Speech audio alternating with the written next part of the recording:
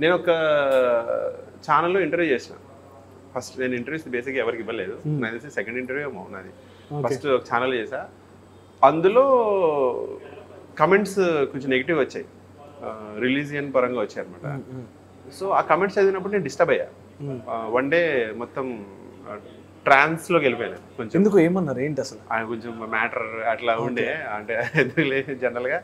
ఆ, నేను డిస్టర్బ్ అయ్యా one month one month one day disturb అయ్యా. తర్వాత నాకు నేనే అనుకున్నా కమెంట్స్ చదవద్దు అని చెప్పి. కమెంట్స్ చదవకపోతే అసలు తెలియదు కదా ఏం జరిగిందో.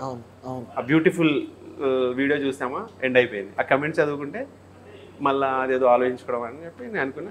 తర్వాత మళ్ళీ ఏమనుకున్నా అంటే ఓకే ప్లస్ మైనస్ అనేది కామన్ అన్నీ ఒకేలా ఉండదు కదా. అవును అవును. జీవితంలో నెగిటివ్ ఓటమి లేదంటే గెలుపు. రుచి తెలియదు అంటారు కదా. అట్లా తెలియాలి అన్ని. అట్లా. సో ఆర్ట్లో రిలీజన్ కలిపారు బాధ వేసింది మీకు కొంచెం ఓకే కలుపుతారులే కామన్ థింగ్స్ అట్లా ఉన్నాయి కాబట్టి కలుపుతారు. ఆ ఇంటర్వ్యూలో కూడా కొన్ని టాపిక్స్ అట్లా ఉన్నాయి కాబట్టి